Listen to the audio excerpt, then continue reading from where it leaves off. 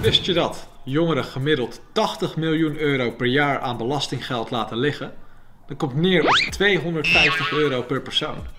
Dus wij willen weten, hoeveel belastinggeld krijg jij terug? De laatste keer kreeg ik bijna 300, 400 euro nog terug.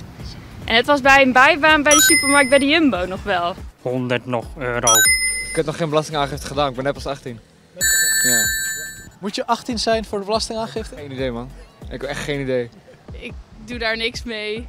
Nee. Als ik weet welke app het is, dan ga ik het wel doen, ja. Ja, tuurlijk.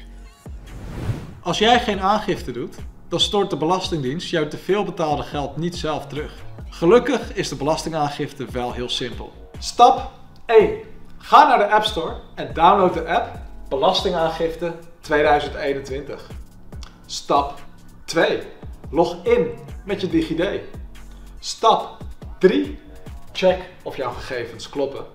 En stap 4. Kassa.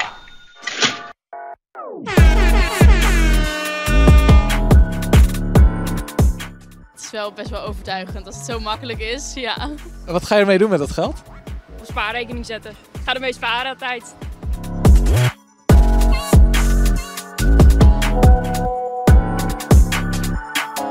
Kom je er niet uit? Of heb je nog verdere vragen? App je even.